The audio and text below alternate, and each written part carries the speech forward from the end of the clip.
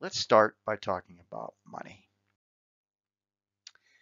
From Wall Street to Main Street, both overseas and at home, money is the one tool used to measure personal and business income and as it's accumulated wealth, wealth in the context of money. Finance is the study of money, how it is made, how it's lost, and how it's managed. This module will introduce you to the role of money and the financial system within the economy as this is strictly defined. Money, as strictly defined, or currency, is anything that is generally accepted in exchange for goods and services. Materials such as diverse as diverse as salt, cattle, fish, shells, cloth, or even precious metals, gold, silver, etc., have long been used in various cultures as a type of money. While paper money was first used in North America in 1685 and even earlier in Europe, the concept of fiat money, as it's called, that is paper money that's not readily converted to a precious metal such as gold, but is rather a statement by a governing body that this debt will be paid, did not gain full acceptance until the Great Depression in the 1930s. In the United States, paper money is really a government note or a promise that's worth the value that's specified on the note. That's really what a paper, what paper currency is.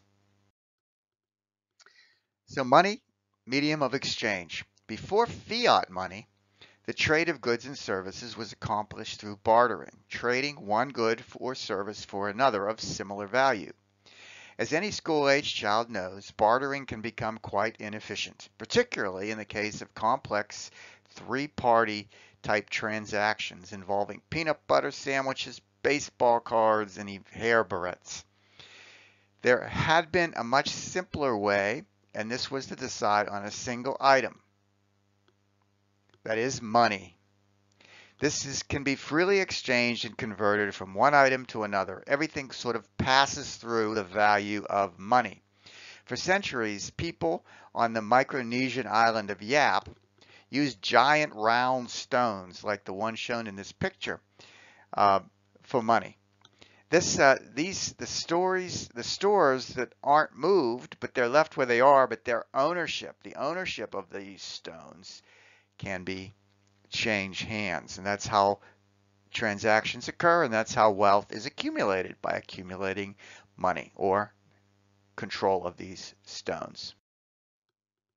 As a measure of value, money serves as a common basis from which to gauge the relative value of goods or services.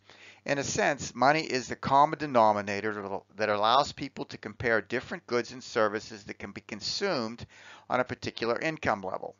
We all have money as a measure of the value of our earnings, purchases, and what we own.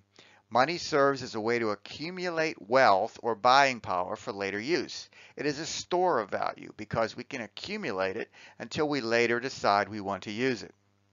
If, due to rapid inflation, all prices are doubling every year, then the purchasing power or the value of money that is stuffed in a mattress, if you would, would fall by half.